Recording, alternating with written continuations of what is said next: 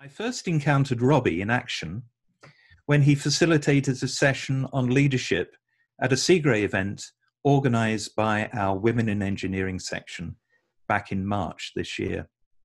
Robbie was impressive.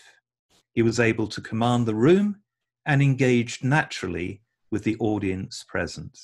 So, indeed, Robbie had a big challenge. The event was online, so the whole difficulty was to make sure that the people were integrated, were feeling comfortable, and really grasped the whole purpose of the event. And Robbie was just at the perfect pace with the perfect voice, guiding everybody, giving the big picture. It was just nice. The good thing, as I said with Robbie, was not only he has the energy, he knows exactly what is his role, but also uh, what was interesting is that as a virtual event, it's not easy as a natural or let's say a live event to be just looking to each other and catch the attention and then try with the body language to pass on messages. So what we did, we had a, a sort of a WhatsApp group where Robbie was in. So he was very good whenever we had some issues to raise the questions or the timing or anything like that to say, okay, too long, let's make it shorter, etc. To grab that and very naturally put it back to the audience as if nothing happened or even if it was just part of the plan. So very, very good to improvise, to adapt.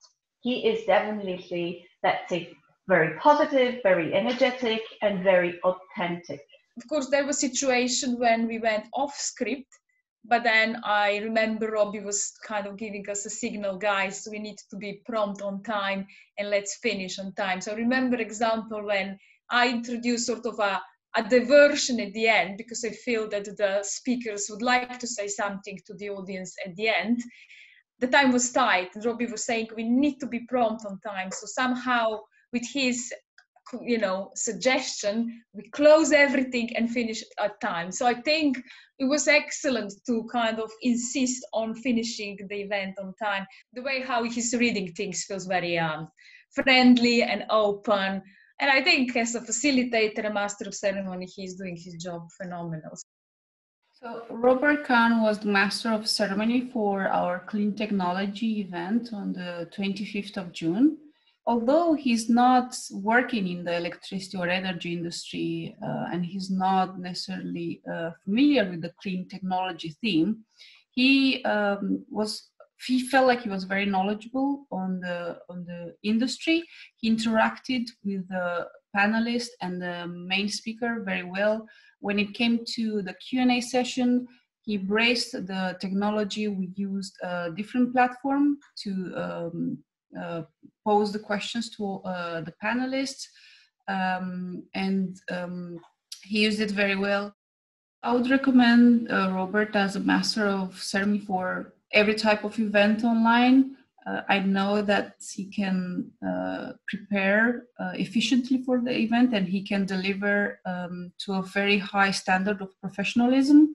So those two factors would recommend him for any type of online event and I would say in any type of industry because he can adapt his style to the requirements of the audience.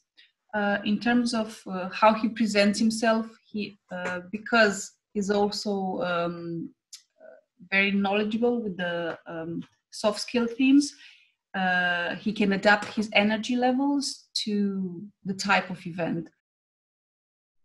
Robbie is a consummate professional who was able to guide everyone seamlessly through the agenda. And in coordination with members of our team who were working the tech behind the scenes, he helped deliver an outstanding event. He has a relaxed but structured style, which delivers the results we needed to make our event a success. I would recommend engaging with Robbie to make your event a success too. Thank you, Robbie.